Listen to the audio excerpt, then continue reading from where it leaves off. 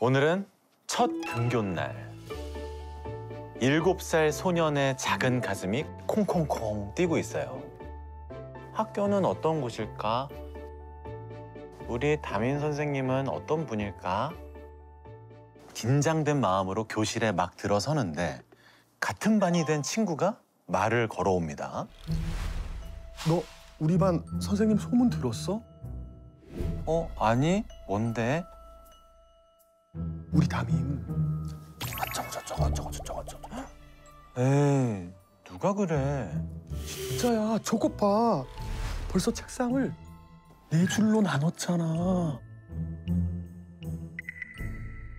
그 친구 말이 이 담임 선생님이 차별이 심하기로 악명 높은 분이래요. 음, 그 선생님네 반에는 특별한 규칙이 있는데 책상을 네 줄로 배치하고 마음대로 아이들을 분류해서 자리를 지정해 준다는 거예요. 어. 이런 식이죠. 너 길 건너 병원장 딸 맞지? 안 그래도 똘똘해 보이더라. 저기 제일 앞줄에 앉으렴. 어. 너는 애가 옷도 안 빨아입고 학교에 왔니? 셋째 줄로 가. 책상을 네 줄로 나눠 놓고 가장 첫 줄에 앉은 아이들은 똑똑이들. 둘째 줄과 셋째 줄은 평범이들. 넷째 줄 아이들은 멍청이들. 자, 근데 이 소년의 차례가 왔습니다. 그러자 선생님이 이름표를 한번 쓱 보고 이렇게 말합니다. 네가 개구나. 모두 주목. 앞으로 우리는 이 친구를 아주 특별하게 대해줄 거예요. 얘네 엄만 지금 감옥에 계시고 아빠도 집을 나가셨대요. 알겠죠? 예, 넌 저기 끝줄, 맨 끝에 거기가 네 자리다. 알았지? 아 너무한다. 이제 이게 실화예요? 예, 실합니다. 그날 소녀는 눈물을 뚝뚝 흘리며 집으로 갔어요. 이 조카가 눈이 퉁퉁 부어서 돌아오는 걸 보고 이모부는 어떻게 했을까요? 당장 눈물 안 그쳐! 아이 사내 자식의 그깟 일로 질질 짜게 나고 계속 징징대면 너 치마 입혀서 학교 보낸다. 아, 근데 또 이게 잠깐 엄포만 놓은 게 아니에요. 이모부는 다음 날 진짜로 소년에게 레이스 달린 원피스를 입혀서 학교에 보내요. 그럴 때 생각나는 사람이 누구겠어요? 엄마 아버지 엄마. 아빠죠. 근데 엄마는 교도소에 있잖아요. 소년은 엄마랑 같이 살 날을 간절히 기다렸어요. 음. 그러던 어느 날 드디어 엄마가 출소했죠. 어. 엄마의 품에 뛰어가 안긴 어린 소년을 엄마는 곧바로 교정시설에 맡겨버려요. 엄마가 돈 많이 벌어서 꼭 다시 데리러 올게. 그리고 한 달, 두 달, 석 달, 열 달. 소식이 없어요. 여기에 온 지 열 달째. 나는 아직도 눈물이 나서 너무 괴롭고 숨을 쉴 수가 없다. 엄마, 제발 날 데리러 와서 같이 살게 해줘요. 엄마의 인생을 방해하지 않을게요. 결국 이 소녀는 그곳을 탈출합니다. 몇 시간을 걷고 또 걸어서 겨우 엄마 집에 도착했어요. 엄마, 저 왔어요. 그런데 빼꼼히 문을 연 엄마 표정이 영 이상해요. 음. 하나도 반갑지가 않아 보여. 아들이 왔는데. 그때 엄마 뒤로 낯선 남자의 아. 목소리가 들려옵니다. 엄마에게 새 애인이 생겼던 거죠. 결국 아이는 몇 시간 만에 교정시설로 돌려보내졌습니다. 너무 심하다. 그리고 나흘 뒤 아이는 다시 그곳을 탈출하죠.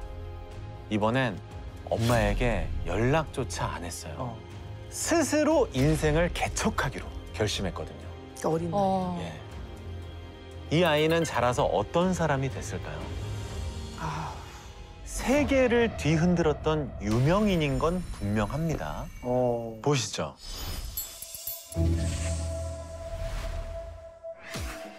외국 분이었군요. 성인이 된 찰스는 대부가 됐어요. 오 대부? 100명에 가까운 떠돌이 아이들을 돌보는 대부가 된 거예요. 우와. 진짜 큰 아버지가 됐네. 잘 진짜. 컸다. 와.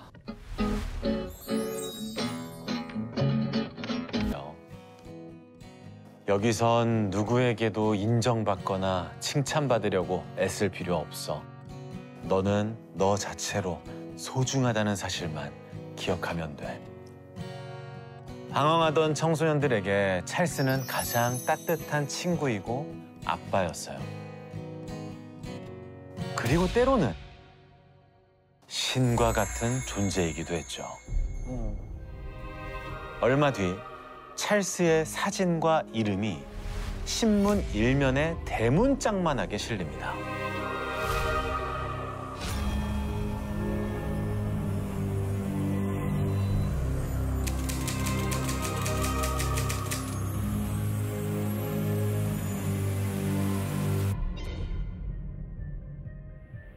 학살?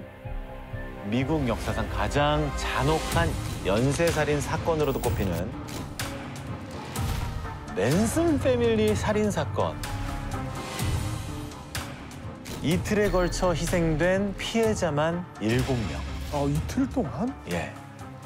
그 중엔 영화 피아니스트로 유명한 로만 폴란스키 감독의 아내, 배우 샤론 테이트도 있었습니다.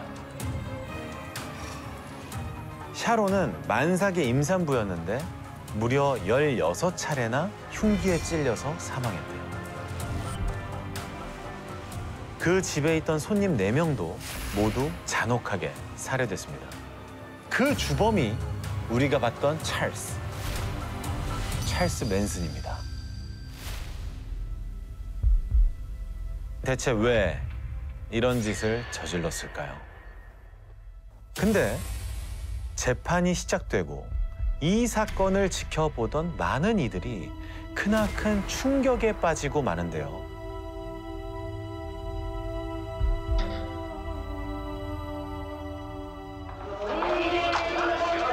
뭐야?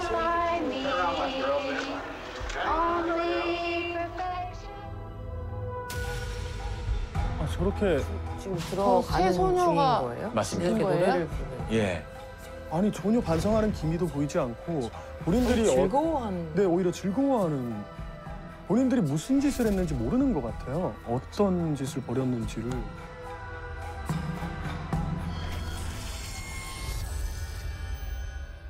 자, 그날 살인 현장에는 세이디와 케이티 그리고 루루 이제 갓 스무 살이 넘은 소녀 세 명이랑 스물네 살 남자 텍스 왓슨까지 모두 네 명이 있었어요. 그러면 찰스 맨슨은 어디 갔어? 찰스 맨슨은 그날 사건 현장에 없었어요. 아, 그 시간에 다른 패밀리들과 함께 목장에 있었거든요. 근데 아까 신문엔 찰스 맨슨 얼굴만 나왔잖아. 대문짝만하게 찰스 맨슨 얼굴. 그렇죠. 왜일까요? 자, 검찰이 조사를 시작하면서 사건의 방향이 완전히 뒤집혀요. 음. 소녀들은 자기들이 저지른 죄를 너무나도 천진난만하게 털어놨어요. 묻지도 않은 말까지 술술 다 얘기했다는데요. 만삭의 임산부를 죽이고 나니 너무 흥분돼서 그 피를 마셨어요. 그날 너무 배가 고파서 냉장고에 있던 수박이랑 우유도 꺼내 먹었어요. 나는 강아지 밥도 줬어. 이게 뭐 하는 애들인가? 뭔가 이상하죠. 그런데 이렇게 천진난만 하다가 딱 하나 그 질문만 나오면 꿀먹은 벙어리가 됐대요. 그게 뭐였을까요? 찰스 맨슨에 대한 질문? 찰스 맨슨. 또 저도 그럴 것 같아요. 그 혹시 같이 있었니 없었냐에 대한 질문. 음, 자, 이렇게 묻습니다. 왜 죽였어요?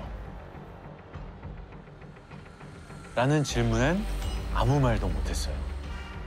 그러다 세 소녀 중 한 명인 케이티가 법정에서 이런 얘기를 합니다. 저는 그 집이 어딘지도 몰랐어요. 찰스 맨슨이 나를 위해 뭐든지 할 준비가 됐냐고 해서 그렇다고 대답하니까 차에 타라고 하더라고요. 그게 다라니까요. 찰스 맨슨이 테이트를 살해하라고 지시했나요? 아니요. 누굴 죽이라고 하진 않았어요. Do what you need to do. 해야 할 일을 하라고 했죠. 해야 할 일이 뭔데요?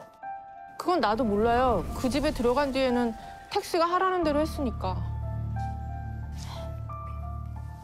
자, 텍스는 아까 그 일행 중에 그 남자. 24살의 유일한 남성. 네네. 그러니까 나머지 세명의 소녀는 피해자를 죽일 이유도 없었고 왜 죽여야 하는지도 몰랐다는 거예요. 심지어 자기가 죽이는 사람들이 누군지도 모르면서 살인을 저질렀던 거죠. 완전 세뇌당했네. 아니 아니 뭘 홀렸나? 최면. 최면. 과연 왜 그랬을까요? 하지만 이 수사기관은 텍스라는 남자가 아니라 찰스 맨슨을 주범으로 생각했어요. 아, 그렇죠. 왜냐? 재판 과정에서 보여준 찰스 맨슨과 그의 패밀리들의 모습 때문이었어요. 찰스 맨슨이 이마에 X자를 그리면 소녀들도 똑같이 X를 그리고 법정에 나옵니다. 찰스 맨슨이 머리를 밀면 다음 날 소녀들도 머리를 밀고 법정에 나타나요. 무서워. 자, 법정 밖에 있던 다른 멤버들의 모습도 비슷했어요. 어머 뭐야? 어, 왜 저래?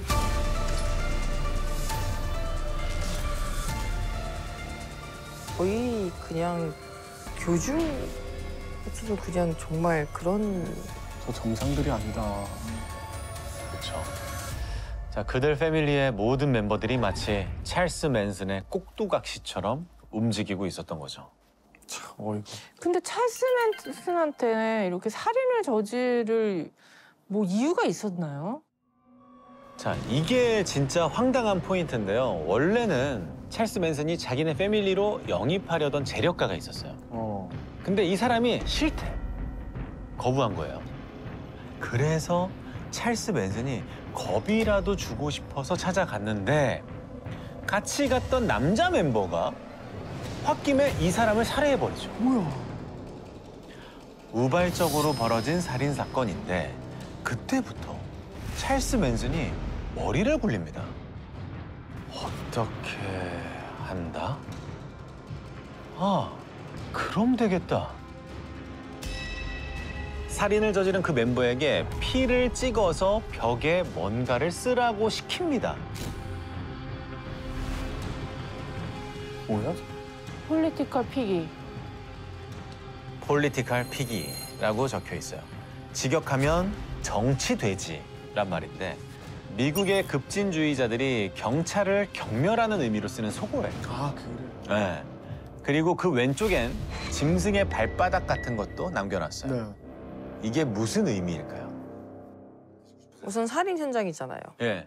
죽인 게 사람이 아닌 동물이라고 생각을 주는 그런 의미를 닮, 담아서 주지 않았을까요? 어, 비슷한데요.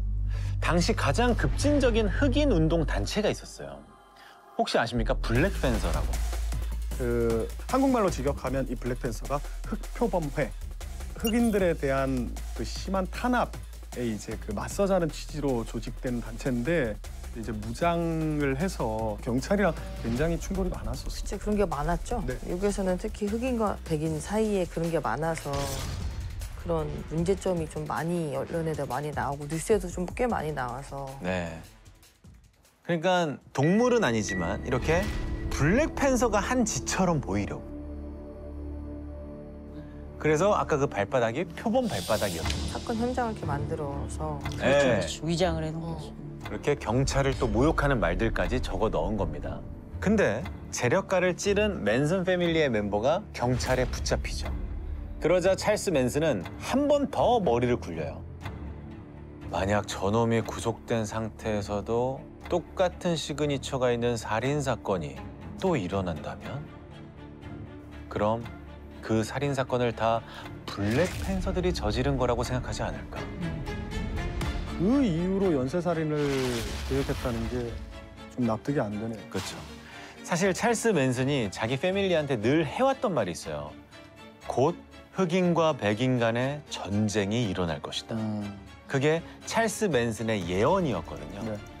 전쟁이 일어나면 자신과 자기 패밀리들만 지하 벙커에서 안전하게 지내다가 전쟁이 끝난 후에 지상으로 나와서 새로운 질서를 세울 것이다 라고 설파해온 거예요. 그때가 오면 내가 이 세상의 지도자가 된다. 뭐 그런 얘기죠. 약간 교주 같다.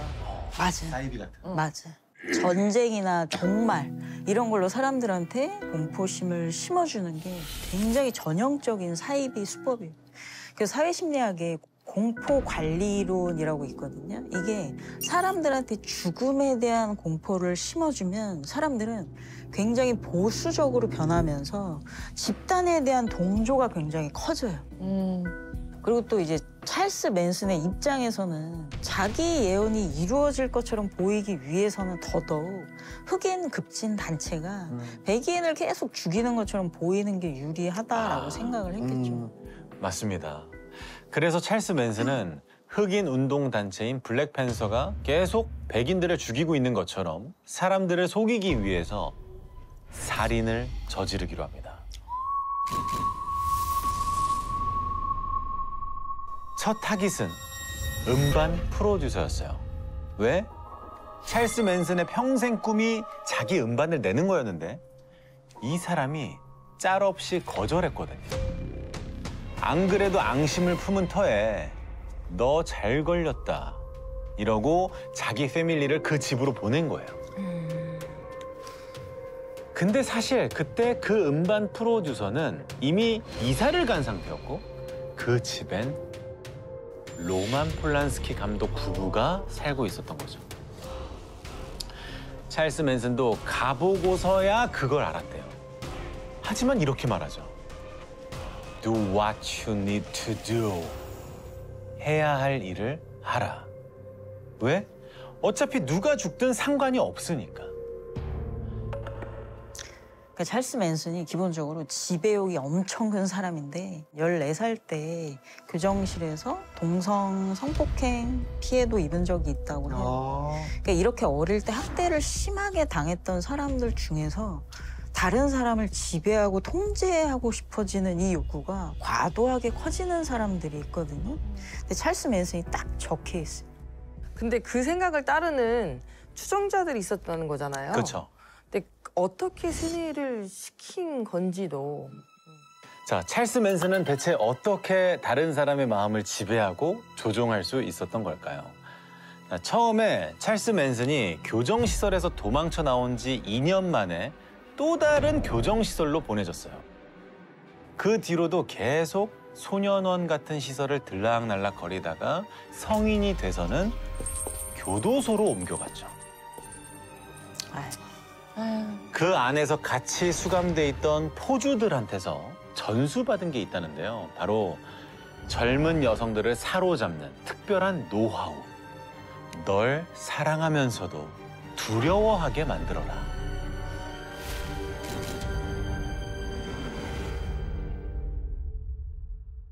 아까 그 살인을 저지른 세 명의 소녀 중 한 명인 케이티에게는 외모 컴플렉스가 있었대요. 호르몬 이상 때문에 온몸에 털이 수북히 나서 친구들에게 늘 놀림을 받았는데 바닷가에서 우연히 만난 찰스 맨슨이 이런 말을 합니다. 너 자신을 있는 그대로 봐. 지금도 얼마나 아름다운데. 내가 너의 아름다움을 더 찾아줄게. 그리고 두 사람은 그날 육체적인 사랑을 나눠요. 그래서 이런 걸 그루밍 범죄라고 하는데 그러니까 처음에는 굉장히 좀 따뜻하게 관심도 보여주고 인정하고 칭찬하고 이러면서 이제 관계를 쌓으면서 점차 상대방이 나한테 의존하게 만들어 점점 종속하게 만들어서 이게 결국은 성적인 착취로 이어지거든요. 그런 다음에 내가 얼마든지 널 맘대로 할 수 있다. 널 언제든지 버릴 수도 있다. 이런 거를 똑똑히 보여주기 위한 행동을 이제 대놓고 해요. 음. 자, 맨슨 패밀리는 세상에 규칙 따윈 없다고 외쳤지만 자기들끼리는 엄격한 규칙들을 정해놨어요. 첫 번째, 찰스 맨슨에 대한 절대 복종. 개인 소유를 허락하지 않는 완전한 공동체 생활. 완벽한 금욕. 근데 찰스 맨슨이 하는 건 제외입니다. 자, 그리고 네 번째. 자신들만의 원칙을 지키기 위해선 어떤 폭력도 정당화된다. 오. 라는 규칙을 공유했던 거죠. 그래서 이 찰스 맨슨이 손 하나 까딱하지 않아도 패밀리끼리 알아서 서로를 때리고 감시하게 했어요. 그리고 패밀리가 늘어나면서 아지트를 산속으로 옮기거든요. 한때 영화 촬영지로 쓰였다가 버려진 목장이었는데 시계도 없고 신문도 없는 그야말로 아주 깊은 산속이었대요. 마지막 이들의 원칙이 완벽한 외부와의 단절이었거든요. 아.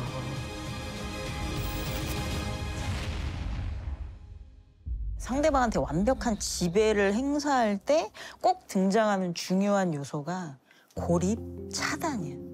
특히 가까운 뭐 친구라든지 뭐 가족이라든지 이런 사람의 조언을 전혀 듣지 못하고 또 뉴스나 이런 걸 보지 못하면 결국은 제일 가까이에 있는 사람의 교묘한 말들에 세뇌 당하기가 쉬워요. 찰스 맨슨은 수시로 이런 말을 했대요. 나를 떠나면 나만큼 너를 사랑해주는 사람은 절대 없을 거야. 그리고 매일 밤 멤버들의 혀 위에 종이 조각을 올려줬다는데요. LSD. 오, 마약? 오!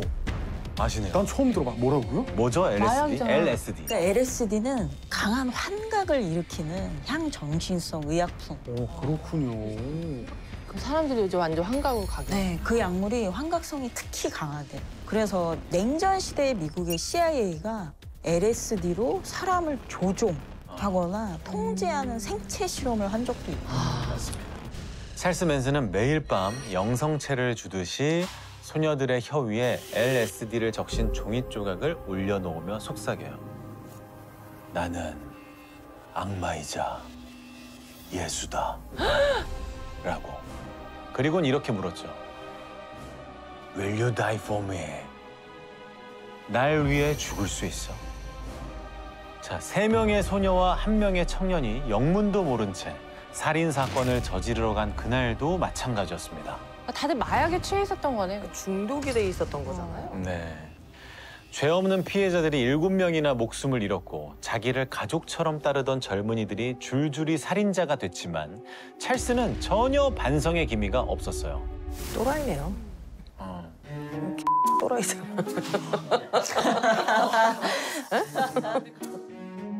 심지어 교도소 수감 중에도 면회온 맨슨 패밀리들에게 지시를 내리거든요. 어떤 지시였을까요? 내가 녹음했던 테이프를 찾아서 음반 제작자를 찾아가. 이번엔 분명히 성공할 거야. 자, 연일 신문에 이름이 나서 유명해졌잖아요. 그걸 기회 삼아서 수감 중에 실제 앨범을 발매합니다. 그것도 한 번이 아니라 이집도 내고 삼집도 내고 어머. 무려 사집까지 냈대요. 앨범을 낸 게 결국은 자기의 지배력, 영향력을 계속적으로 넓히기 위한 이 시도의 일환인데 가사를 보면 존재하기를 멈춰라. 그리고 나한테 와서 사랑한다고 말해라. 이건 뭐냐면 그러니까 너는 뭐 생각할 필요도 없고 존재할 필요도 없고 나를 복종하는 존재만 되면 된다. 이런 식으로 그러니까 가사로 사람들을 세뇌하는 내용이 많아요. 주문. 네, 주문을 외우듯이. 그 와중에 더 많은 사람들 자기 소나기에 넣고 싶어 했던 거네요. 그러니까 앨범을 발매한 거죠. 찰스 맨슨은 그동안 12번이나 가석방 신청을 했대요. 야. 매번 거절당했지만 끝까지 진심으로 자기 잘못을 인정하지 않았던 거죠. 그리고 지난 2017년 83살이 되던 해 옥중에서 죽음을 맞이합니다. 즐겨봐 이 채널.